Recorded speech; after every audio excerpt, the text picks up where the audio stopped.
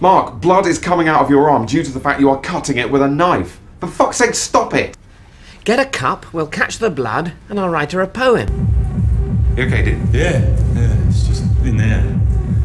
Fuck, man. Tasty. Why would people want to do that shit? Why even go there? Let's go in. Didn't you hear what he just said? It sounds fun. No, it doesn't. It sounds terrifying. Whatever, let's get in there. It's the heart of darkness, Jez. It's the fucking dirt. Okay, Mr. Bendix, bring it on. I suppose you want me to sit here, yeah? Well, how about if I go and stand over here instead? You think you can handle that? Hmm? How about if I just pulled my knob out and started wanking? Yeah? Oh, you'd love that, wouldn't you? My gonads out, one ball dangling in front of each eye. That's your dream, yeah? Well, I'm not going to!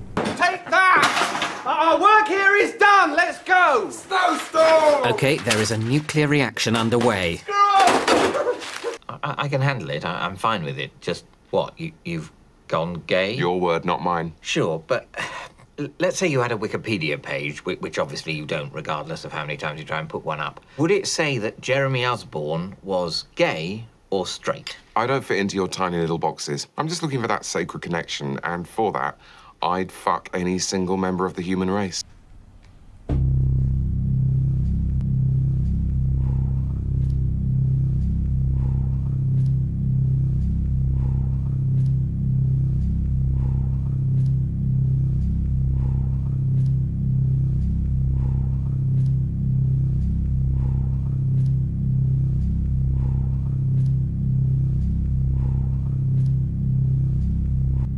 Yeah, okay, right, ready? One, two, three, let's go!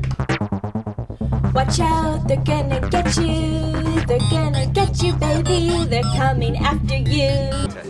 Glass of bubbly. Sweet. Look at me doling out the champers. I'm the greatest man who ever lived. Goodwill to all men. Did I just say goodwill to all men?